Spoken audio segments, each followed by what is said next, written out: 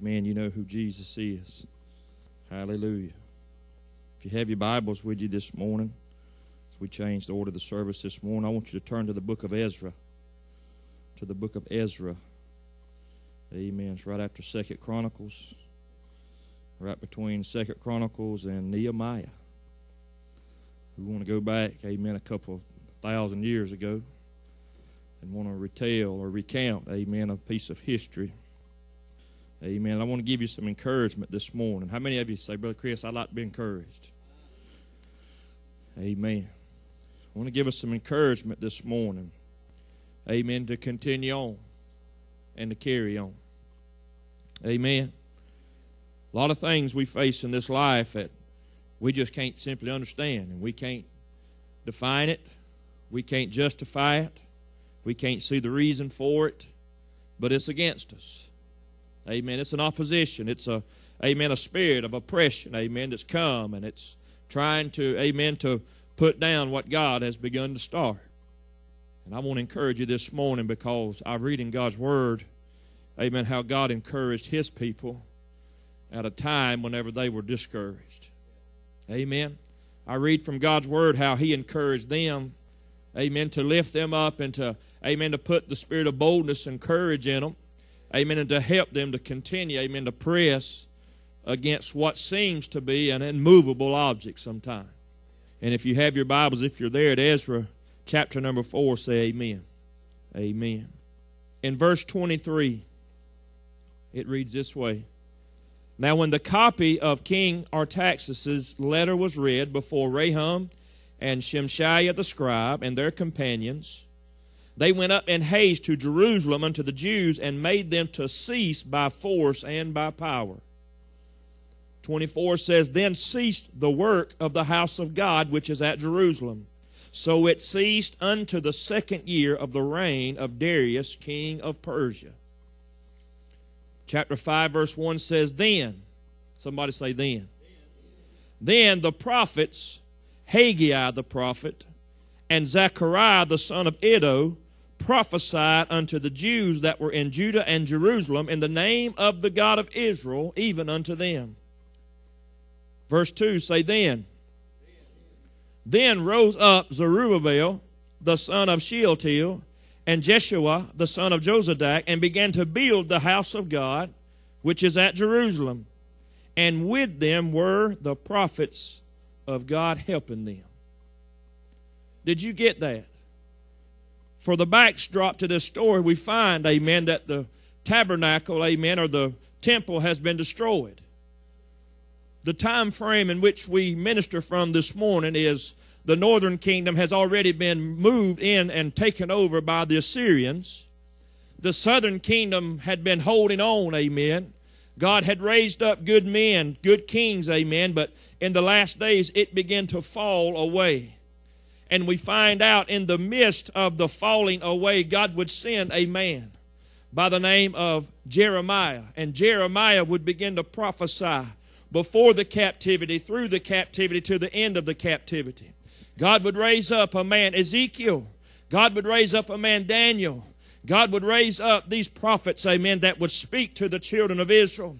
But all of this has transpired, and now we've come to the place, amen, where Cyrus, the king of Persia, amen, God had moved in his heart through, I believe, amen, the testimony of these men of God. Amen. Daniel, he was part, amen, of Daniel. He saw, amen, and heard Jeremiah. He heard these prophets speak of God, and he knew, amen, the things that God could do. And he declared in the last chapter of Second Chronicles that he said, I want you to go back. If there is a man among you of God's people, he says, I want you to rise up, and I'm going to send everything that you need with you uh, to go back to Jerusalem and build the house of God again.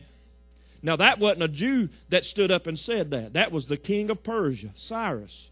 But God had stirred his heart to build a house again for God's people. And as they began to transgress, or they began to move, they moved forward, they progressed. And they, the Bible says that Zerubbabel and Jeshua, and they were several more, amen, that the Spirit of God rose up in the men, the princes, and the, the head fathers of the house of Israel, and they went, amen, to begin to go back and to lay the foundation for the house of God. And in the midst of building the house of God, they have the letters from the king of Persia. Now, if you remember, that started out as the king of Babylon. And then in the last days of the Babylonian Empire, the Medes and the Persians broke through, amen, and conquered Babylon, amen, which entailed conquered, amen, uh, uh, those few remaining, amen, uh, uh, Jews that were of the house of Judah and Benjamin. The northern tribes already been taken in by the Assyrians. They've already been conquered that last little stronghold, amen, of God's people holding on was the house of Judah and Benjamin, and they had Jerusalem and the southern part of the kingdom of God. But now they've been uh, uh taken over by the Babylonians in captivity because of their, amen, unbelief and because of their stiff hearted and hard headedness, amen. And they would continue to push away God and they would continue, amen, to commit spiritual adultery by going after things uh, that had nothing to do with the house of God. And God brought, amen, that captivity upon them. And in doing so, amen, we find that these, uh, uh, that the children of God are in captivity. Now, he raised up Cyrus the king of Persia and he said, I want y'all, if there's a man among you, to go back and build a house. And Zerubbabel and Jeshua, the high priest, they began to, or the priests began to lead others, and they went back and they began to do that which was necessary. And the Bible says that there was, he gave a list of all the names in Ezra chapter 1 and 2 of all the princes and the heads of the houses of Israel. Amen. And all those that went with them. And the number, and the number that went back was several thousand that went back. And they, the Bible says the first thing they done, I believe it's in chapter 3, amen, is that they raised up an altar. Amen. And they began to pray and seek God. Amen. And it says then, it says then they began to lay the foundation. Amen uh, uh, while you're right there close to it, amen. Let's just read it real quick while we know where we at. Amen. Hallelujah. You love the Lord today. Hallelujah. Praise the Lord. That's what happens when you read from one Bible to the next. It don't look the same. this one's got large print. The one I was looking at yesterday got small print. That might be why I got such a bad headache. Amen. My study Bible's a little bit different. Amen.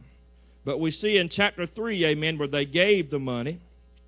Amen. In verse 10, and when the builders laid the foundation of the temple of the Lord, they set the priests in their apparel with trumpets the Levites, the sons of Asaph, with cymbals to the praise of the Lord after the ordinance of David the king, and they sang together by in chorus, praising and giving thanks unto the Lord. Amen. In other words, they had set up the altar. Amen. They had uh, uh, offered before him at the altar. Amen. God strengthened them and give them the courage. Amen. To begin to lay the foundation. And it said there in verse 10 of chapter 3 that when the builders laid the foundation, uh, amen, they brought together the priest, amen, and the singers, and they began to sing praises unto God. Amen. We talked a little bit about rejoicing, amen, in the house of God. Amen. How we come in, amen. And it's not sit down and bless me if you can, but it's come in, amen, and begin to put something into it, amen. I, I, I want to, uh, I heard a young man testify a couple weeks ago at a revival, amen. And he said, God, if you want me to be a wood toter, he said, I want to be a wood toter for the kingdom of God, amen. Some of us, amen, our purpose in the kingdom of God, amen, is to bring wood into the house, amen, so that the house will have a fire, amen, and it'll have a permanent supply, amen, of that which is necessary to keep the fire going. What is that? Amen. That's a praise God. Amen. That's a hallelujah. Amen. That's a blessing God. Amen. That's a touch her Jesus. Amen. It's something, amen, to add to, amen, and cause the fire to fuel and begin to burn. Amen. So maybe you're supposed to be a wood toter. Amen. If you're supposed to be a wood toter, amen, would you please, amen, bring your wood? Amen. We need it. Amen. We need, amen, for every part, amen, in the house of God, amen, to be working together. Why? Because we're all fighting an enemy, amen. And if there's a breach in the wall, amen, he's going to find that breach.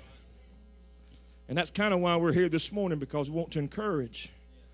Why? Because there are things in our life, amen. There's places, amen, where the enemy's gotten in and gotten his control and got his hand in it, amen, in such a way. And we're praying and we're seeking God and, and, we're rebuking it, amen, and we're coming against it in the name of Jesus. But it seems to have taken a stronghold or a foothold, uh, amen, and we're fighting, doing everything we can. Uh, and this church, amen, is part of, uh, amen, that getting that enemy back out, amen. When we bring our wood, amen, we bring our sacrifice, we bring ourselves to the house of God, amen. It may be rough at home, it may be rough at work, amen, but when we bring our wood and put it on the fire here, amen, God will lift us up and strengthen us. we see where the children of God began to build the house. In the midst of that building, I want to read something to you. We're talking about encouraging the house of God this morning. In verse 12 of chapter 3, he said, But many of the priests and Levites and the chief of the fathers, who were ancient men, that had seen the first house, when the foundation of this house was laid, before their eyes, they wept with a loud voice. And many shouted aloud for joy so that the people could not discern the noise of the shout of joy from the noise of weeping. For the people shouted with a loud shout, and the noise was heard afar off. And I began to see something here, Sister Nancy, as this foundation began to be laid. Amen. It was some, amen, who had seen the first, amen. They was a part, amen, of the original, amen, temple of God, amen. And they had seen that thing as it was erected, amen. And now, amen, 70 some odd years has passed, or more than that, amen. And they've not seen the glory of the Lord, amen. They've been in a foreign land. Uh, they've been in hell on earth, so to speak, amen. They've been separated from their God, uh, even though they could pray and seek His face and He would come. Uh, but still, amen, that temple represented something to them, it tied them to God. And whenever they began to see the foundation laid, the Bible says that some of the old men that had seen the glory of the first began to weep. Amen. I, and it said some began to shout for joy. I can understand this in the same house. You can have some, amen, uh, weeping, amen, but yet weeping in the Lord, amen, because God has restored something unto me, amen. Something I thought was lost, uh, something I thought was gone, uh, something that, amen, I had forgotten about. Uh, it could never come back to me, uh, but all of a sudden I begin to see uh, the evidence as He begins to prepare the ground. God's bringing it back. Hallelujah and they began to weep. It wasn't a weep of sorrow, but it was a weep I thought I would never see God again. But here, He's beginning to lay the foundation. Oh, hallelujah, church. There's some meat in that if you grab a hold to it. Amen. Something, amen, I thought was destroyed. Something I thought was gone. Amen. That I long to see again. Amen. The enemy told me he had done away with it. The enemy told me I'd never see it again. The enemy jumped on my back uh, and he's rode me like a mule. Amen. Saying you'll never come back. Uh, but I'm beginning to see God lay the foundation. Hallelujah. I'm beginning to see God do something, enemy. Hallelujah. Some wept. Amen. Some wept. And it said you couldn't discern the weeping over the shouting. Amen. In other words, there was such a deep, amen, desire, or such a deep, amen, there was so much hurt. There was so much, amen, whenever they had been removed out of their land. And I want you to see something. Whenever they were taken from their land, they had been taught, amen, as children that God gave us this land for a possession. Our father Abraham, amen, obeyed God. His son Isaac obeyed God. His son Jacob, amen, obeyed God. We can trace back our lineage, amen, all the way to Abraham. This is our land. It belongs to us. This is our home. And now they're being forced out, taken by, amen, force and removed from the place. It tore their heart out amen, to be removed from this place. And some of us this morning, we feel like we have been torn amen, abused, amen, and the enemy has stolen, amen, everything from us, amen. There's nothing left. There's nothing left to fight for. I'm in a foreign land. Uh, spiritually, I'm beaten. Uh, I'm weak and I'm destroyed. Uh, and I feel like I have no use. Uh, I feel like I have nothing to offer to God. Uh, but can I tell you something? Uh, amen. When the prophets begin to stand up and they begin to preach, thus saith the Lord, amen, all of a sudden something begin to rise up in the heart Oh, I know that voice. That's the voice of God. He ain't forgot about me. He's here. Hallelujah. He ain't forgot about me. Hallelujah. He ain't forgot about me. Amen. And they saw the foundation being laid for the house of their God. Oh, can you understand? Amen. The young ones who had heard the stories about the first temple, the young ones, amen, who had heard about the glory of God and how it had moved and how it had led and guided. Amen. But they've been raised up in Babylonian captivity. Amen. They've not seen the fullness, the manifestation of the moving of God. They've not been privy, amen, to walking into the temple, amen, and seeing the tapestry and seeing the beauty and seeing the instruments of the house of God uh, and watching the priest, amen, uh, as they carry out the will of God uh, each and every day. They've not been privy to this. They've heard about it, but they've never seen it. But now they begin to, amen, cry for joy because they begin to see the foundation laid. Two people, both in love with the same God, but two totally different emotions. Amen. You ain't always going to shout like me. I may not always weep like you. Amen. In other words, God, one God in heaven, amen, touching an individual heart Amen. Each one of us individually in a different way. But nevertheless, it's the same God, the same Spirit. Amen. Why? Because we all have different needs. Uh, we're at different places in our walk with Him. Uh, some of us need encouragement. Some need boldness. Uh, some need courage. Some need instruction. Some need, amen, a swift kick. But whatever it is, amen, that same God, amen, can minister to your need. And that's what He does. Hallelujah. That's what he does. So we see they've been now, they've laid the foundation in that chapter 3. There was a noise of weeping and there was a noise of joy. And it was hard to tell the difference between two, but now you know why some was crying uncontrollably. What was lost is now found. The Bible says in Luke, I believe the 15th chapter, 16th chapter, amen, that the prodigal son, when the father saw him coming, you know, he said, What once was lost is now found. Amen. And he ran to him and he fell on him. He didn't wait for the son, amen, to come to him, uh, but he went to the son. Why? Because that was, amen, something that meant more to him uh, than anything else. Uh, he left the 90 and 9 to go out and search for the one. Why? Because each soul to him, amen, is worth, amen, going after. And I'm so thankful for that. So they laid the foundation, they built the altar. They laid the foundation. The emotion that, amen, sprang up in the hearts of the people. You may think this is somewhat funny, but to me it meant so much to me. We started having church this month, this five years. We've been having church five years this month. Amen. The first little place we had church was the Women's Center. Amen. Not many of you here today was there that first Sunday. That's all right. Amen. You didn't know we was having church, or you'd probably been there we was there about three or four weeks and we moved into the Harvey's Cleaners building across from Harvey's. And I won't never forget the day that I went over to Beulah Church and they had two little old wooden altars in there. Breaks my heart today to think about it. But I was told, get those altars and carry them to your church. And I got those altars and I carried them. And Sister Donna, when I took them inside and I set them up, I began to weep in the house of God because I knew that was the place where it all started at.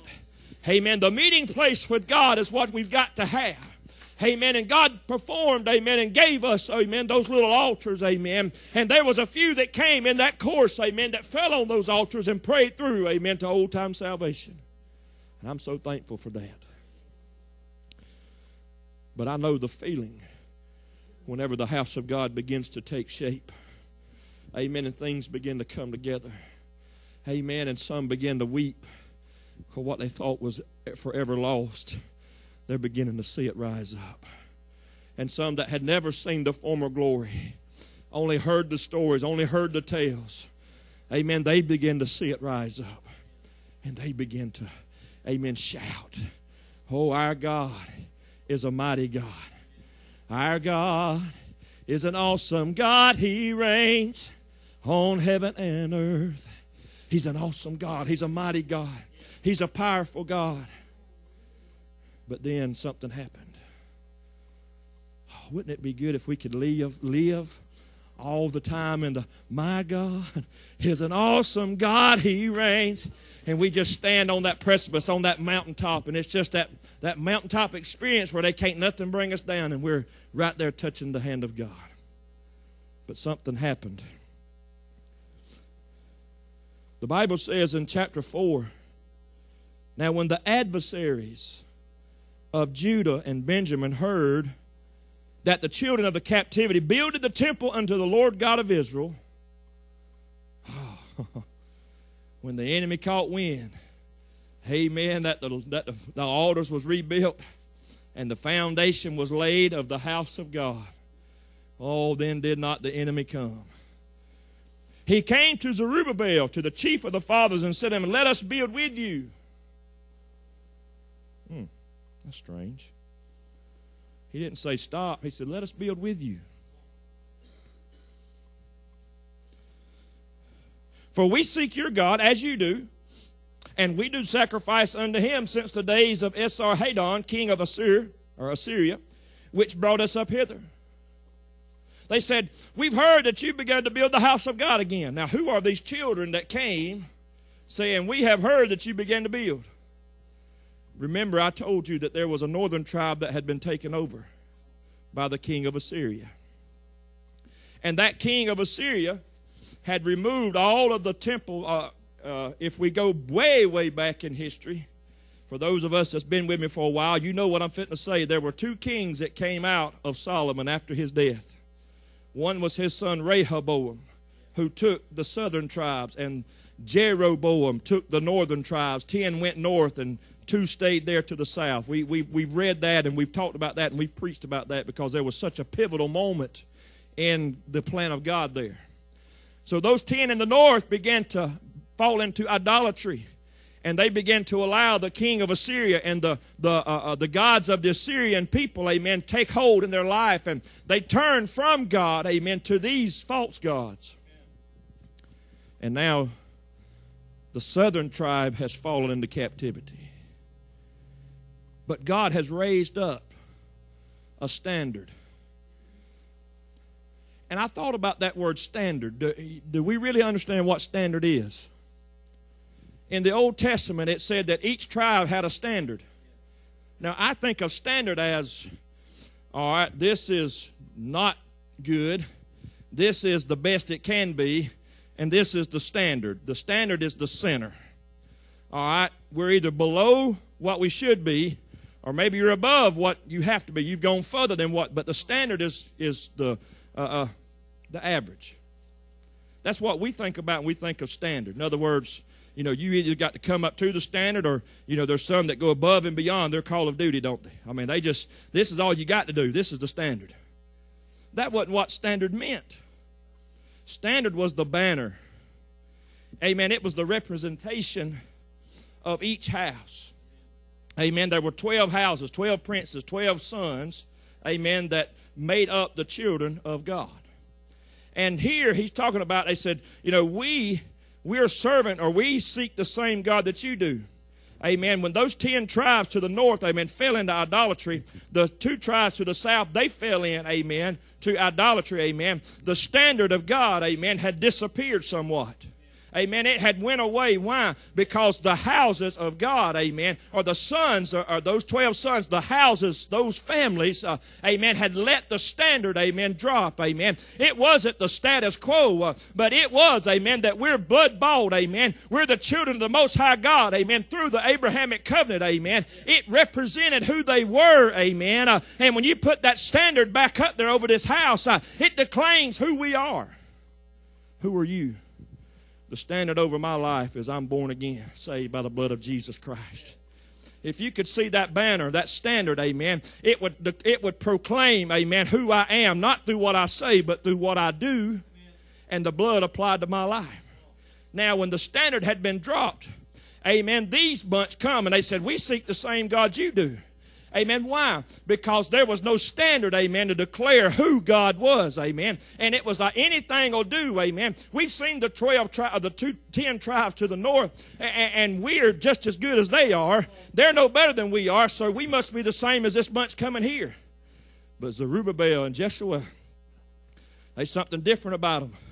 They're the remnant that's been raised up out of captivity.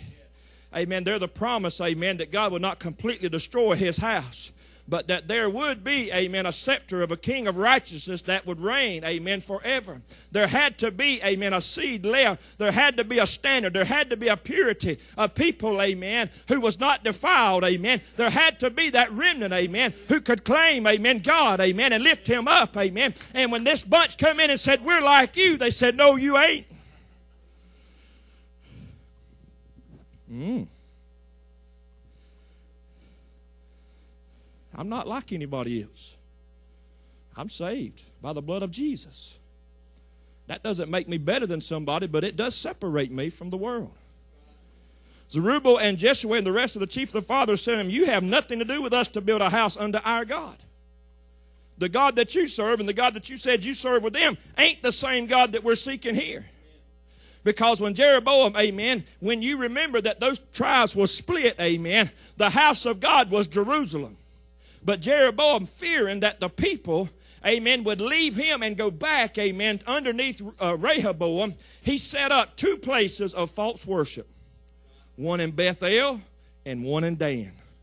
Bethel was about a, a, a, day and a half, two days journey from Jerusalem. In other words, they was pretty close. So in other words, he set one right there close by, an imitation right by the house of God, so that those that was right there wouldn't go on down Jerusalem, but they'd go right there to Bethel. And then he set one way up in the north in Dan, in the, uh, uh, the property of the, the children of Dan. He set one up there, a house of worship. And they were false. The standard was not over them. And the people that came in and overtook them, and as those gods began to meld together, and they began to worship all kind of stuff, amen, whenever the real thing come up, they wanted to take part in it. The men of God stopped it. Well, what did that do? That set off a chain of events. Now they bring their accusation to the king. Cyrus is no longer the king. The king that sent Zerubbabel is no longer the king in Persia. There's a new king, and his name is Artaxias. And Artaxias has just fallen along with what was going on the whole time. He had no dog in that fight. Well, what happened was when they brought this letter, they told him that this city has a history of being a rebellious city. This city has a history of coming against other kings and fighting and defeating other kings. How many of you can say amen to that? Amen. The God that I serve, he has a history. the God that I serve has a history, amen, of defeating, amen, what comes up against him. And I can say hallelujah to that, amen, that I serve the King of Kings and the Lord of Lords, uh, and that He doesn't lose battles, amen. Uh, and the world may think He's a rebellious King, uh, but I know Him, amen, through the blood of His Son Jesus Christ, amen. And I come to find out He is the King of Kings and Lord of Lords. And they said, He's a rebellious, that's a rebellious city. We need to put it down. And He did. All that work that had been going on all that joy, all that peace, and all that satisfaction, amen, from doing the will and the work of God, it come to a screeching halt whenever the enemy tried to clamp down on it. Now, when the copy of the king of Artaxerxes' letter was read before Rehum and Shimei the scribe, in other words, those uh, uh, uh, those band of uh, misfits that came and wanted to take part in the building whenever they were shut out of it because they wasn't living right Every church, amen, ain't right. I'm just sorry. It ain't. Amen. The, the Bible gives us examples of those that try to imitate, amen, the real thing. And whenever they came, those that were born again here, or uh, in my sense, I say born again, but in this sense, they were followers of God because Christ has not come and died yet, so they wasn't born again. But they were true, amen, followers of God, amen. And they said, You're not like us, amen. What you're doing is false worship. What we're doing is pure, amen, before God, Jehovah God. There was a difference. And that's a message for another time. Don't let me get trapped in that one. But they raised up the standard and they said, We are of the children of the Most High God. And we are going to fight and we're going to build and we're going to do that which God has had us to do. So they took that and they went to the king, and then by force and by power, they put down, amen, that small uh, group of, of Jews that was trying to rebuild that wall. They hampered and hindered that work, and they stopped that work.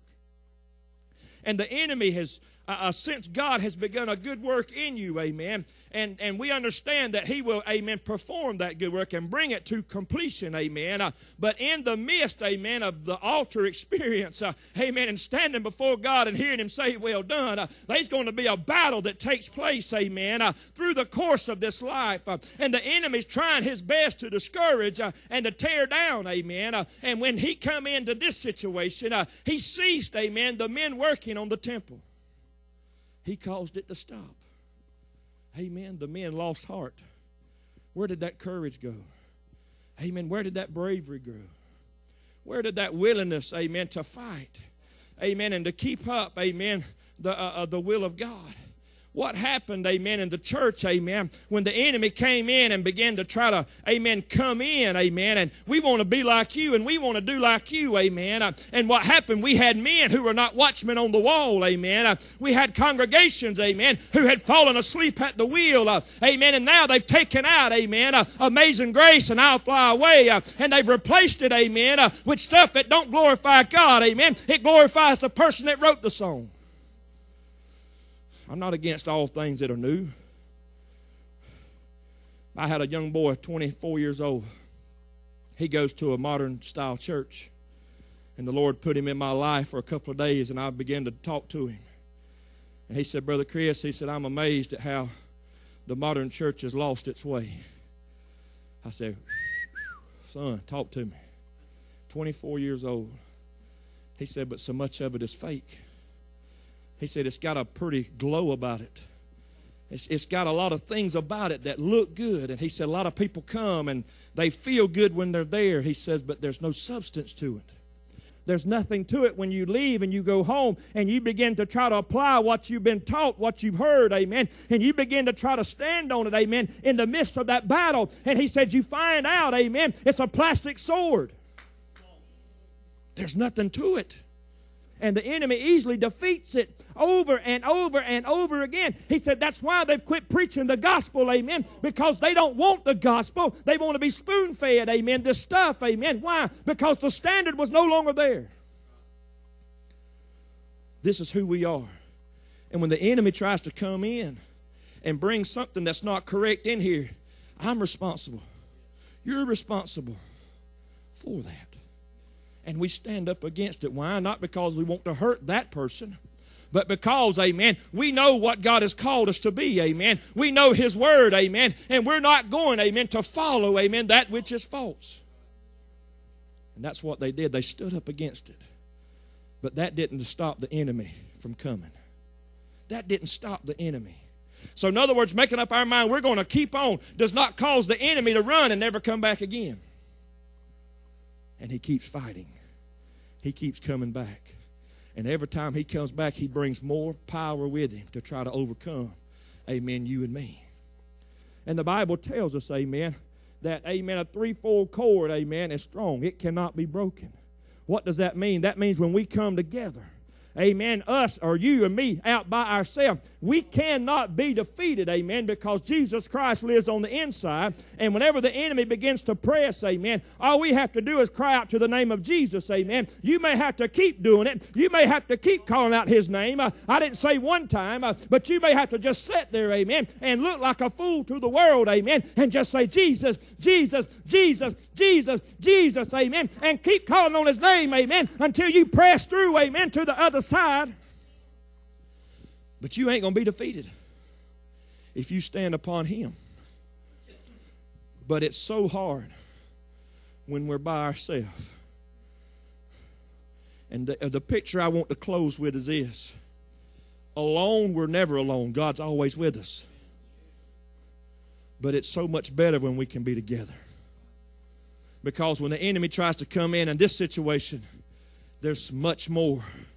The cord is a lot stronger it's a lot tighter, it's a lot stronger, it's a lot, it can handle so much more weight whenever we're together. Amen. And that's why, amen, failing to come to the house of God is such a detriment amen, to his people, amen. Uh, you can be out there by yourself, amen, in a sense you may miss, amen. Uh, but you know as well as I do, when you miss, that devil comes, amen. And the more we miss, amen, the more he pounces, amen. And you still don't have to go under. You still don't have to succumb to him. Uh, but it's a lot harder to fight out there, amen. But when you come in with brothers and sisters, amen, you can draw strength and get help to fight. I want to encourage you today. The children of Israel allowed the enemy to stop the work because they got discouraged because the enemy come against them not just one time but if you read that fourth chapter you see that they come against them and wanted to join in with them but sister sister barbara they said we can't allow that because what you're trying to do and what we're trying to do is two different things. Two churches side by side doesn't necessarily mean two houses of god one may be trying to lift up God, the other one may not. You may not from the outside see the difference, amen. But if you go on the inside, amen, you should be able to discern. It says, Then the people of the land, they weakened the hands of the people of Judah and troubled them in building. So they were mad. They began to come at them, began to steal their supplies and break their lines of communication, began to try to do things to hinder them. They hired counselors against them to frustrate their purpose. Oh, you ever heard of anointed anointed troublemakers? They hired counselors. That word counselor there means somebody specific to do a specific job. If I counsel you, that means I'm supposed to know what I'm doing, ain't it? So they hired anointed troublemakers to go in there and frustrate their purpose. They tried to steal their tools and their equipment to hinder their work they sent in spies, so to speak, or they, they infiltrated the children of God and, and, and tried to give counsel, amen, uh, while he's sitting there trying to throw them bricks up there and trying to build, and, and, and then this anointed devil is sitting there behind him. Uh, my Lord, I'm tired of doing all. We shouldn't have to be doing all this work. And it's just nag, nag, nag, nag, nag, nag. And begin to try to pick them off one by one. Some of you can see these instances of the enemy working in your life trying to discourage you and tear you down, trying to come against you in everything that you're doing for God. it said, Then the work ceased. It ceased for a period of time. It ceased unto. And that word unto is a transitional word. It means something changed. It ceased from here unto here. Something happened unto. Something changed at unto. Amen. I was lost and undone until Jesus came and found me. Amen. Uh, in other words, I struggled or I suffered, amen, in, in a sin sickened condition, amen. But then Jesus came and I was saved. Now, there's been a lot of teals and untos in my life. I was walking fine till that storm came. And I stayed in that darkness until Jesus came and picked me up. There's a lot of tills and untos in serving God. It's the valley times, it's the hard times, it's the dark times, it's the bleak and the and the, the hurtful times, it's the accusation time, it's the time to hear your family come against you. It's a time when your friends rise up against. It's your time when your boss amen, doesn't give you the promotion. It's the time when, hey, you know, the, the girl at the checkout line, she puts up the I'm closed, going home sign, and you've just been waiting for 30 minutes, and you've changed aisles three times, and you finally got her, and she put it up there just before you came. Ah, so frustrating. Now I got to go all the way back to the other end and stand in that line, and now there's 10 people there. It's frustrating, ain't it? That devil knows how to get us. But it said, Then came the prophets. Then came the men of God who would preach, This is what God says do. And it says, Then Zerubbabel and Jeshua picked up the instruments again. Whenever we're fighting, fighting, fighting, fighting, fighting, we find ourselves being put down by the enemy. We're I don't see it as I'm being defeated, but I see it as I'm losing ground.